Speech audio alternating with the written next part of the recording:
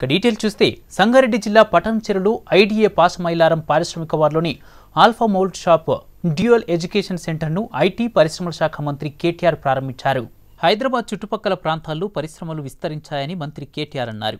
Dual education సెంటర్లు Europe దేశాల్లో చదువుతో పరిశ్రమల అనుసంధానంతో శిక్షణ ఇస్తారని ఆయన చెప్పారు. హైదరాబాద్ చుట్టుపక్కల ప్రాంతాల్లో పరిశ్రమలు విస్తరించాయి. రాష్ట్రమంతా కూడా పరిశ్రమలు పెట్టేందుకు ప్రయత్నిస్తున్నామన్నారు. ఐదు రకాల రంగాల్లో విప్లవాత్మక మార్పులు వచ్చాయన్నారు ఇన్వెస్టర్లు సంతోషంగా ఉండాలని వాళ్ళే మన బ్రాండ్ అంబాసిడర్ అని కేటీఆర్ పేర్కొన్నారు. ఈ రాష్ట్రంలో ఇన్వెస్టర్లకు వేధింపులు లేవని మంత్రి కేటీఆర్ స్పష్టం చేశారు. గౌరవనీయులు స్థానిక శాసనసభ్యులు పెద్దలు Mahipal Reddy garu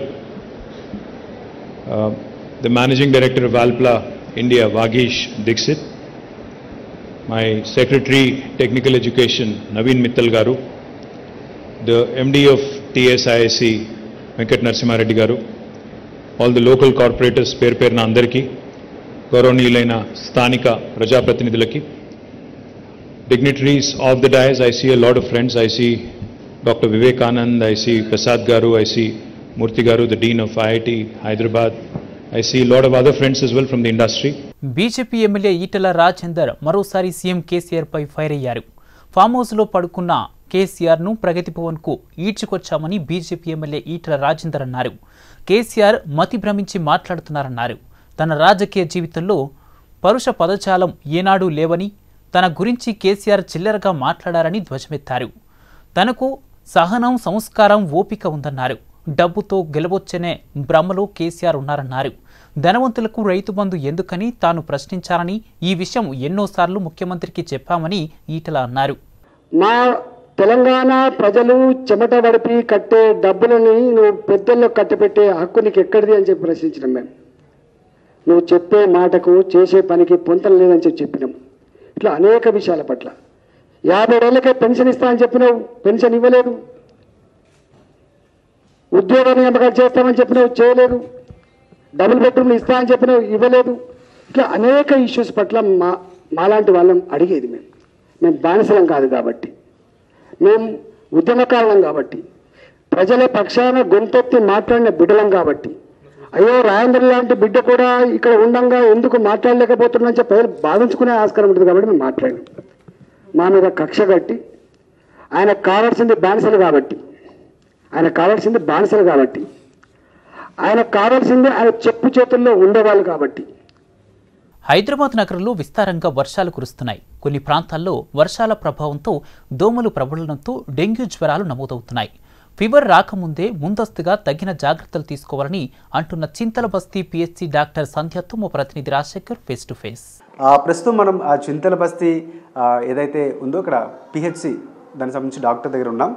ఇప్పుడైతే ఇప్పుడు ఇప్పుడు వాతావరణ మార్పులతో సాధారణంగా ఎక్కువగా జ్వరాలు వస్తున్నాయి. ఆ వాతావరణ సమతుల్యత ఏదైతే ఉంటుందో దానికి సంబంధించి శీతల గాలులు రావటం ఓవైపు వర్షాలు ఎక్కడికక్కడ చెత్త పేరుకోవడం ఇలాంటి అపరిశుభ్రత వల్ల కూడా ఎక్కువ వరకు వైరల్ ఫీవర్స్ ఎక్కువ వచ్చే అవకాశం ఉంటుంది. ఎలాంటి వీటిని నివారించాలంటే ముందస్తుగా ఎలాంటి జాగ్రత్తలు తీసుకోవాలి? దానికి సంబంధించి మరిన్ని విషయాలు తెలుసుకుందాం.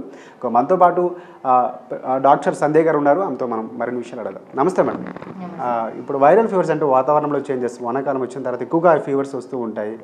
సాధారణంగా గ్రామీణ ప్రాంతాల్లో నగరంలో కూడా ఎక్కువ వస్తుంటాయి. దానికి ఎలాంటి జాగ్రత్తలు తీసుకోవాలి ముందుగా అసలు ఎలాగ క్రూషియల్గా మనం దాని ముందు ఎలా గుర్తించాలి మెయిన్ ఇప్పుడు సీజన్ కూడా సైక్లోన్ నడుస్తుంది కాబట్టి సో ప్రస్తుతానికి ఇంట్లోనే మనం కొన్ని కొన్ని చేంజెస్ చేసుకుంటే బెటర్ ఉంటుంది. ఎందుకంటే పిల్లలు బాగా అంటే వాళ్ళ ఇమ్యూనిటీ తగ్గి వాళ్ళకి ఎక్కువగా రోగాలు వచ్చే అవకాశం ఉంటుంది కాబట్టి మెయిన్గా ఇంట్లో కాచిన నీళ్ళు తాగడం కానీ లేదు అంటే గనక క్లోత్స్ కూడా. వామ్ క్లోత్స్ వేసుకోవడము బయటికి వెళ్ళకపోవడం ఉండకపోవడము ఇలాంటివి చేసుకుంటూ ఉంటే బెటర్ ఉంటుంది. సో అలాంటివి ప్రికాషన్స్ తీసుకుంటే బెటర్ ఉంటుంది. బయటికి వెళ్ళకుండా గవర్నమెంట్ కూడా ఈ త్రీ డేస్ హాలిడేస్ ఇచ్చింది. సో ఇంట్లోనే ఉంటే బెటరు. ఎక్కడికి వెళ్ళకుండా. అంటే ఇంకొకటి మేడం అంటే వైరల్ ఫీవర్స్ వచ్చే ముందు అంటే చిన్న చిన్న సిమ్టమ్స్ అంటే ఒకరి తర్వాత ఎక్కువ మందికి అందరూ ఎఫెక్టెడ్ అవుతుంటారు మోస్ట్లీ. సో దాన్ని ఆదిలోనే అంటే మొదట్లోనే ఇంట్లోనే మనం నివారించుకునేలాగా ఏమైనా? ఉన్నాయి మేడం. ఇంట్లోనే అంటే అదే చెప్తున్నాను కదా హాట్ వాటర్ వామ్ వాటర్ తీసుకోవడము మళ్ళీ కఫ్ ఉంది అంటే కనుక స్టీమ్ ఒకటి తీసుకోవచ్చు. అంటే చిన్న పిల్లలకి నా ఏమి వేయకుండా స్టీమ్ ఇవ్వాలి ఆవిరి పట్టించడం. అది కూడా ఎక్కువగా ఇవ్వకూడదు. రోజుకి ఒక్కసారి సరిపోతుంది. ఓవర్ స్టీమింగ్ కూడా మంచిది కాదనమాట. సో పిల్లలకి అబౌవ్ ఫైవ్ ఇయర్స్ ఉంది అంటే కనుక స్టీమ్ వన్ డే అట్లా వన్స్ పర్ డే అట్లా ఇచ్చామంటే బెటర్ ఉంటుంది. చిన్నపిల్లలు ఉన్నారు అంటే కనుక వాళ్ళకి కొంచెం డాక్టర్ దగ్గరికన్నా తీసుకెళ్ళాలి ఫీవర్ స్టార్ట్ అయిన వెంటనే డాక్టర్ని కన్సల్ట్ చేస్తే బెటర్ చాలామంది ఏంటంటే ఫీవరే కదా అని చెప్పేసి పారాసిటమాల్ ఒక సిపిఎం సిరప్ వేసేసి తీసుకొస్తున్నారు. ఇంకొకటి మేడం అంటే ఇంటిని శుభ్రపరచుకోవడం ప్రధానంగా. ఈ టైంలో బయటకు వెళ్ళి రావడం అంటే మనం డ్రెస్సెస్ ఎప్పటికప్పుడు కొంచెం నీట్గా చేసుకోవడం వేడి వాటర్ ఇట్లాంటివి కూడా ప్రికాషన్స్ తీసుకోవాలంటారు కదా మేడం తీసుకోవాలండి. ఖచ్చితంగా తీసుకుంటేనే బెటర్ ఎప్పుడైనా నీట్నెస్ ఉంటేనే ఏవైనా కానీ రాకుండా ఉంటాయి. సో ఇల్లు పరిశుభ్రత ఉంటే మన సరౌండింగ్స్ కూడా ఉండాలి. ఇల్లే కాకుండా మన చుట్టుపక్కల పరిశుభ్రంగా ఉంటే మనం పరిశుభ్రంగా ఉన్నట్టు. అట్లా అలాంటి ప్రికాషన్స్ ఖచ్చితంగా ప్రతి ఒక్కరూ ఫాలో అవ్వాలి. ఫైనల్గా మీరు చెప్పేది అంటే ఇప్పుడున్నటువంటి సీజన్లో ఎవరైనా ఉండే మా వ్యూస్ కానీ మీరు చెప్పేది అందరూ జాగ్రత్తలు తీసుకోండి. పెద్దవాళ్ళు అయితే కనుక కోవిడ్ ఇంకా వెళ్ళలేదు. కోవిడ్ వస్తూనే ఉంటుంది. సో అది కంప్లీట్గా నిర్మూలించడం అనేది జరగదు.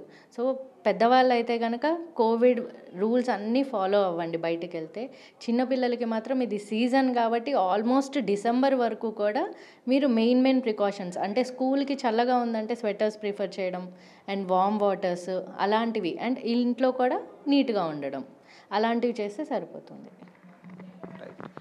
అయితే ఈ సీజన్లో ప్రధానంగా చూసుకుంటే అంటే మనకు ఒక డౌట్ ఉంటుంది కరోనా ఫీవర్కి నార్మల్ ఫీవర్కి ఎట్లాగా అనేది దాని గురించి కూడా వెంటనే మనం డౌట్ వచ్చినప్పుడు వెంటనే సంప్రదించి దగ్గరలో ఆ రక్త ఐ మీన్ టెస్ట్ చేసుకోవడం అనేది ముఖ్యం అని చెప్తున్నారు మేడం. అలాగే ఇప్పుడున్నటువంటి ఈ సీజన్లో ఎక్కువగా కాల్చి ఆ, వడపోచిన నీరు తాగడం కానీ లేకపోతే శుభ్రత ఇంటి శుభ్రత ఉంచుకోవడం మనం శుభ్రంగా ఉండటం బయటికి వెళ్ళి వచ్చిన ప్రికాషన్స్ తీసుకోవడం ఇవన్నీ కూడా ముఖ్యంగా చిన్నపిల్లలు ఉండేటప్పుడు ముసలి వాళ్ళు ఉండేటప్పుడు మరింత జాగ్రత్తగా ఉండాలని కూడా చెప్పడం జరుగుతుంది.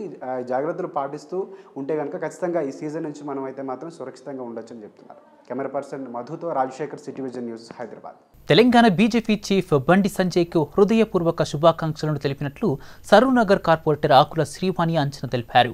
ఈ నేపథ్యంలో బండి సంజయ్ పేరున ఆలయంలో ప్రత్యేక పూజలు నిర్వహించారు. ఎంపీ బండి సంజయ్ జన్మదిన సందర్భంగా కార్పొరేటర్ శ్రీవాణి బంగారు మైసమ్మ ఆలయంలో ప్రత్యేక పూజలు నిర్వహించారు. యాభై వేల రూపాయలను ఆలయానికి విరాళంగా ఇచ్చారని కార్పొరేటర్ ఆకుల శ్రీవాణి పేర్కొన్నారు. బీజేపీ జాతీయ వర్గ సభతో కేసీఆర్ మొద్దు నిద్ర నుండి మేల్కొన్నారని ఎంపీ డాక్టర్ లక్ష్మణ్ ఎద్దేవా చేశారు. ప్రజల మనసులను ప్రధాని చురగొంటుంటే కేసీఆర్ చూడలేకపోతున్నారన్నారు. ఇక రెండు పర్యాయాలు ప్రజల ప్రజాస్వామ్యంతో ప్రధాని అయ్యిండి ప్రధాని హోదాలో ఉన్న వ్యక్తిపై సీఎం కేసీఆర్ తులనాడుతుంటే రాష్ట్ర ప్రజానికం తలదించుకుంటుందని లక్ష్మణ్ ఆవేదన వ్యక్తం చేశారు. యూపీ తరహాలోనే తెలంగాణలో కూడా డబుల్ ఇంజన్ ప్రభుత్వం రావాలి డబుల్ ఇంజన్తోనే అభివృద్ధి అని లక్ష్మణ్ అభిప్రాయం వ్యక్తం చేశారు.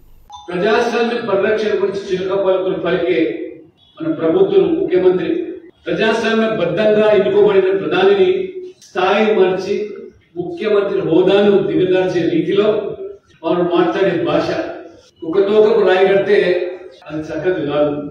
ఈ రకంగా ముఖ్యమంత్రి పదే పదే ఈ షిండే గురించి ఏకదా షిండే గురించి అనే ప్రస్తావిస్తారు షిండే అంటే నాకు శివలింగ్ గుర్తుకొస్తున్నది. డబ్బులించాలంటే కళలో కూడా నిద్రలో కలవరిస్తున్నాడు డబ్బులించాలని ఈ తెలంగాణకు ఈ టిఆర్ఎస్ శనిలా మారింది. అవినీతి అరాచక ప్రభుత్వాన్ని పోకటి వేళ్ళతో పెకిలి వేయాలని ఆకాంక్షిస్తున్నటువంటి తెలంగాణ సమాజం. భారీ వర్షాల నేపథ్యంలో దక్షిణ మధ్య రైల్వే పరిధిలో పది రైళ్ళు రద్దయ్యాయి. మరో రెండు రైళ్ళు పాక్షికంగా రద్దయ్యాయి. Secunderabad Umdanagar Secunderabad passenger special Secunderabad Umdanagar MEMU service Medchal Umdanagar Umdanagar to Secunderabad special Secunderabad to Umdanagar Secunderabad special Nanded Medchal Nanded special Secunderabad Medchal Medchal Secunderabad Kakinada Visakhapatnam Kakinada port MEMU Vijayawada Bitragunta Vijayawada మధ్య రైళ్ళు రద్దయ్యాయి.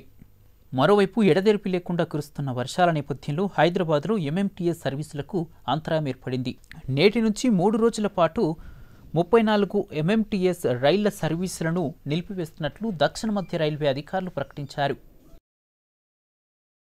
భారీ వర్షాల పట్ల నిరంతరం అప్రమత్తంగా ఉండాలని అధికారులకు MLC Kalvakuntla కవిత సూచించారు.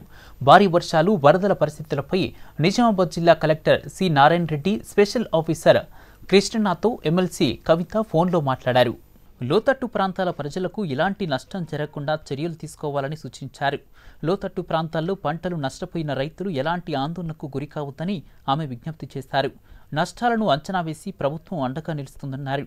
విద్యుత్ సౌకర్యం ఇతర మౌలిక సదుపాయాల విషయంలో ప్రజలకు ఎలాంటి ఇబ్బందులు రాకుండా సత్వర కార్యాచరణ రూపొందించాలని ఎమ్మెల్సీ కవిత ఆదేశించారు.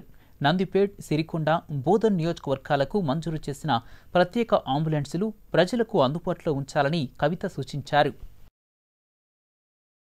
గురు పౌర్ణమి ఉత్సవాలను పురస్కరించుకుని కూచిపూడి కేంద్ర సంగీత నాటక అకాడమీ పురస్కార గ్రహీత గురువు డాక్టర్ వేదాంతం రాధేశ్యాముడు రవీంద్ర భారతిలో ఘనంగా సత్కరించారు. మయూరే నృత్యాల సాంస్కృతిక సేవా సంస్థ ఆధ్వర్యంలో రవీంద్ర భారతిలో నిర్వహించిన నృత్య కారణీలు ప్రదర్శనలు చూపలను ఆకట్టుకున్నాయి. గురు పౌర్ణమి భారతీయులకు చాలా విశిష్టమైన పర్వదినమని నాట్య గురువు వేదాంతం రాజేశం మాట్లాడారు.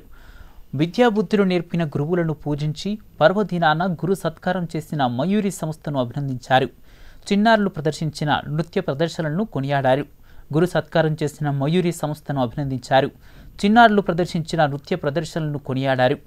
ఏసీపీ రామ్దేవ్ అమ్మ యోగా ఆశ్రమ సొసైటీ వ్యవస్థాపక అధ్యక్షురాలు సన్నక సీత ముఖ్య అతిథులుగా పాల్గొని విద్యార్థులకు మెమోంటోలను సర్టిఫికెట్లను ప్రదానం చేశారు. శ్రీదేవి యొక్క దంపతులకి ఇప్పుడు చేయటం అంటే పరమానందంగా నిజంగా గురు పూజ అంటే గురు పౌర్ణమి నాడు చేసేటువంటి ఉత్సవాన్ని ఇప్పటి నుంచే ప్రారంభించారంటే చాలా గొప్ప విశేషం. ఈ బిడ్డలందరూ ఇక్కడికి వచ్చిన వారందరూ అదృష్టవంతులే. ఏకాదశి నాడు నాట్యం ప్రదర్శించారంటే ఆడుతూ పాడుతూ ప్రదర్శించిన వారికి చూసిన వారికి విన్నవారికి అనుకోకుండా అతిథులు వచ్చిన వారందరికీ కూడా శుభాలు కలుగుతాయని పెద్దలు చెబుతూ ఉంటారు. అందులో ఈ కళ రక్షింపజేస్తే కళలు భక్షింప భక్షించరాదు. ఆ కళలను ఎప్పుడు మనం రక్షించామో ఆ కళామ తల్లి మనందరినీ సంరక్షిస్తుంది చక్కగా శ్రీదేవి కాపాడుతూ మనందరికీ చక్క శ్రీదేవి నే నేదో దేవే. మాజీ సీఐ నాగేశ్వరరావు దురాగతాలపై రాచకొండ పోలీసులు ఆరా తీస్తున్నారు. నాగేశ్వరరావు టాస్క్ ఫోర్స్ సీఐ ఉన్నప్పుడు చేసిన సెటిల్మెంట్లపై దర్యాప్తు చేస్తున్నారు.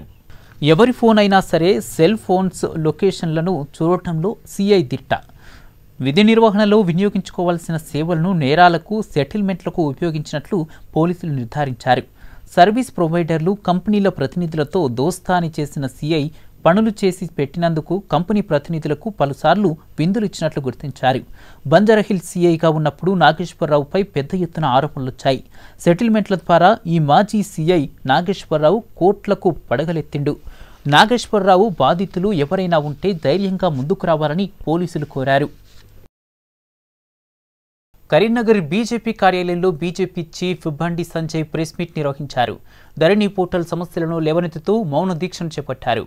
మౌన దీక్ష అనంతరం సీఎం కేసీఆర్పై ఫైర్ అయ్యారు. ఇక ధరణి పోర్టల్తో ఎవరికి లాభం ప్రజలు ఇబ్బందులు పడుతున్నారని నేతలు అంటున్నారు. ఇక వేల కోట్లు విలువైన భూములను కేసీఆర్ పేరు మీదకు మార్చుకునేందుకు ధరణి పోర్టల్ తెచ్చారని బండి సంజయ్ విమర్శించారు.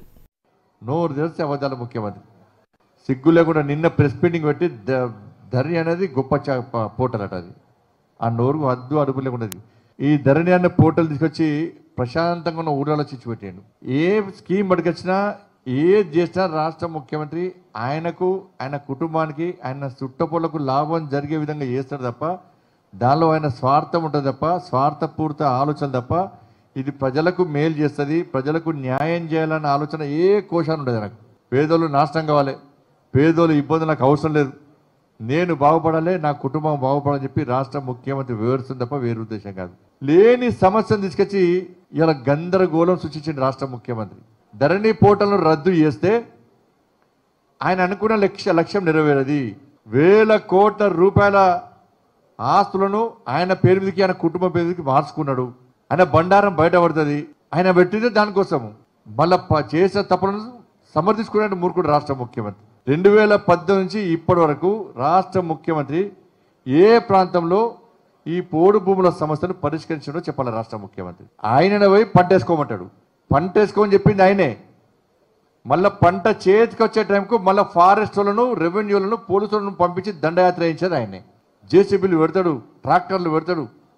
కుబ్దుల్లాపూర్ పరిధిలోని రోడ్డు ప్రమాదం జరిగింది. గాజుల రామారంలో అర్ధరాత్రి రోడ్డుపై కారు అదుపు తప్పి డివైడర్ను ఢీకొట్టింది. ప్రమాదంలో ప్రవీణ్ అనే వ్యక్తి అక్కడికక్కడే మృతి చెందాడు. భార్గవ్ అనే మరో వ్యక్తికి గాయాలయ్యాయి. ఘటనా స్థలానికి చేరుకున్న పోలీసులు దర్యాప్తు చేపట్టారు. మద్యం సేవించి కారును నడపడం వల్లే ప్రమాదం జరిగిందని మృతుడు సూరారంకు చెందిన వ్యక్తిగా పోలీసులు గుర్తించారు. గాయపడిన వ్యక్తిని గాంధీ ఆసుపత్రికి తరలించారు. సైబర్ నేరగాళ్ళు కొత్త ఎత్తుగడలతో ప్రజలను మోసం చేస్తున్నారు. తాజాగా హైదరాబాద్లో కొత్త తరహా ఆన్లైన్ మోసం బయటపడింది. విద్యుత్ బోర్డు ఉద్యోగుల పేరుతో ప్రజలకు ఫోన్ చేస్తూ కరెంటు బిల్లులు కట్టాలంటూ అందిన కాడికి దోచుకుంటున్నారు. ఇలాంటి మోసగాళ్ళ విషయంలో అప్రమత్తంగా ఉండాలని సైబర్ క్రైమ్ పోలీసులు హెచ్చరిస్తున్నారు. కరెంటు బిల్లులు కట్టమని విద్యుత్ బోర్డు నుంచి ఎవరూ ఫోన్లు చేయరని ప్రజలకు సూచిస్తున్నారు. పోలీస్ అధికారుల వివరాల ప్రకారం మొదట మోసగాడు తాను లక్ష్యంగా చేసుకున్న వ్యక్తి మొబైల్ ఫోన్ను మీ కరెంటు బిల్లు పెండింగ్లో ఉందని ఎస్ఎంఎస్ లేదా వాట్సాప్ ద్వారా సందేశం పంపుతాడు. బాధితుడు స్పందించిన వెంటనే తమను తాము ఎలక్ట్రిసిటీ బోర్డు ఉద్యోగులుగా పరిచయం చేసుకుని తక్షణమే కరెంటు బిల్లు చెల్లించాలని లేదంటే పవర్ కట్ చేస్తామని హెచ్చరిస్తారు. వాళ్ళ మాటలు నిజమని నమ్మిన బాధితులు భయపడితే సైబర్ నేరగాళ్ళు తదుపరి ముందుకెళ్తారు. బాధితుడికి లింకును పంపి ఒక యాప్ను డౌన్లోడ్ చేసుకుని దాని ద్వారా ముందుగా ముప్పై రూపాయలు లేదా యాభై రూపాయలు చెల్లించమని అడుగుతాడు. చెల్లించిన తర్వాత తిరిగి కాల్ చేస్తామని బాధితుడికి చెప్తారు. బాధితుడికి అనుమానం వచ్చేలోపే బ్యాంక్ ఖాతా లాగిన్ ఆధారాలను సేకరించి ఖాతాలో డబ్బు మొత్తాన్ని విత్డ్రా చేస్తున్నారు. ఇటీవల హైదరాబాద్కు చెందిన ఓ వ్యక్తి ఈ తరహాలో మోసగాళ్ళ చేతిలో ఎనిమిది పాయింట్ ఐదు లక్షల రూపాయలు పోగొట్టుకోగా మరో బాధితుడు ఒకటి పాయింట్ ఐదు లక్షల రూపాయలు పోగొట్టుకున్నాడని పోలీసులు చెబుతున్నారు. ఆటోలో ఆరుగురు ప్రయాణించేందుకు మాత్రమే వీలుగా ఉంటుంది.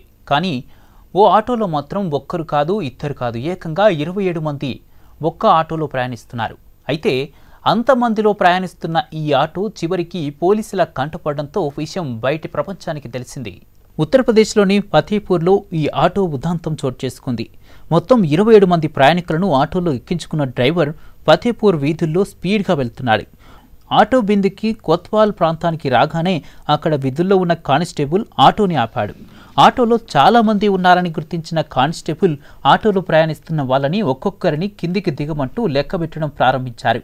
లెక్కబెట్టడం పూర్తి చేసిన కానిస్టేబుల్ ఆటోలో మొత్తం ఇరవై ఏడు మంది ఉండటంతో షాక్కి గురయ్యాడు. విషయాన్ని పోలీసులు అధికారుల దృష్టికి తీసుకెళ్ళాడు. అనంతరం ఓ రూల్స్కు విరుద్ధంగా వ్యవహరించినందుకు ఆటో డ్రైవర్పై పోలీసులు కేసు నమోదు చేశారు.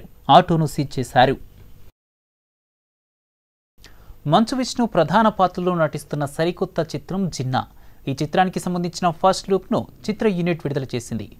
ఫన్ఫుల్ ఎంటర్టైనర్గా సిద్ధమవుతున్న ఈ చిత్రంతో సూర్య దర్శకుడిగా పరిచయం అవుతున్నారు తాజాగా Ginna cinema first look motion పోస్టర్ను చిత్ర బృందం విడుదల చేసింది. ప్రేక్షకుల దృష్టిని ఆకర్షించేలా విభిన్నమైన కాన్సెప్ట్తో దీన్ని రూపొందించారు. ఇందులో విష్ణు వైట్ అండ్ వైట్ ధరించి మాస్ లుక్లో కనిపించారు. కోనా వెంకట్ అందించిన కథతో ఈ సినిమా రూపుదిద్దుకుంటుంది. ఈ చిత్రంలో విష్ణు సరసన పాయల్ రాజ్పూత్ సన్నీ లియోని సందడి చేరున్నారు సోషల్ మీడియాలో ఎప్పుడూ ట్రెండింగ్లో ఉంటారు క్యారెక్టర్ ఆర్టిస్ట్ ప్రగతి. జిమ్లో వర్కౌట్స్ ఇన్స్టా రీల్స్ రెడీ అయి మాస్ పాటలకు స్టెప్పులు వేస్తూ నెట్టింట సందడిగా కనిపిస్తారు. నెటిజన్లను ఫిదా చేస్తుంటారు. దేశంలో కరోనా వైరస్ వ్యాప్తి కాస్త నిలకడగా ఉంది. తాజాగా రెండు పాయింట్ ఏడు ఎనిమిది లక్షల మందికి కోవిడ్ నిర్ధారణ పరీక్షలు నిర్వహించగా పదహారు వేల ఆరు వందల డెబ్బై ఎనిమిది మందికి పాజిటివ్గా తేలింది. పాజిటివిటీ రేటు ఐదు పాయింట్ తొమ్మిది తొమ్మిది శాతానికి పెరిగింది. గత ఇరవై నాలుగు గంటల వ్యవధిలో పద్నాలుగు వేల ఆరు వందల ఇరవై తొమ్మిది మంది కోలుకున్నారు. ఇరవై ఆరు మరణాలు సంభవించాయి. గత కొద్ది రోజులుగా ఇన్ఫెక్షన్లు విస్తరిస్తుండటంతో యాక్టివ్ కేసులు ఒక లక్ష ముప్పై వేల ఏడు వందల పదమూడుకి పెరిగాయి. ఇప్పటి వరకు నూట తొంభై ఎనిమిది కోట్లకు పైగా వ్యాక్సిన్ డోసులు పంపిణీ చేశామని నిన్న పదకొండు పాయింట్ నాలుగు నాలుగు లక్షల మంది కొత్తగా వ్యాక్సిన్లు వేయించుకున్నారని కేంద్ర ఆరోగ్య శాఖ వెల్లడించింది. గత నాలుగు రోజులుగా ఏకదాటిగా కురుస్తున్న వర్షానికి మేడ్చల్ జిల్లా గట్కేసర్ టౌన్లోని రోడ్లన్నీ జలమయమయ్యాయి. వాగులు వంకలు నిండు కుండలా మారాయి. పలుచోట్ల విద్యుత్ రవాణా వ్యవస్థలకు అంతరాయం ఏర్పడింది. ఇప్పటికే ప్రభుత్వం మున్సిపల్ రెవెన్యూ పోలీస్ సంబంధిత శాఖలను అప్రమత్తం చేసింది. ప్రజలకు ఎలాంటి ఇబ్బందులు కలగకుండా అధికారులు తగు చర్యలు తీసుకోవాలని ఆదేశించింది. విద్యా సంస్థలకు మూడు రోజులు సెలవు ప్రకటించింది. నీళ్ళు ఎక్కువగా ప్రవహిస్తున్న చోట వాహనదారులు వాగులు దాటడానికి ప్రయత్నం చేయొద్దని అధికారులు హెచ్చరించారు. మరో మూడు రోజుల పాటు ఈ వర్షం ఇలాగే కొనసాగితే ప్రజలు మరింత ఇబ్బంది పడాల్సి ఉంటుందని పలువురు అభిప్రాయపడుతున్నారు.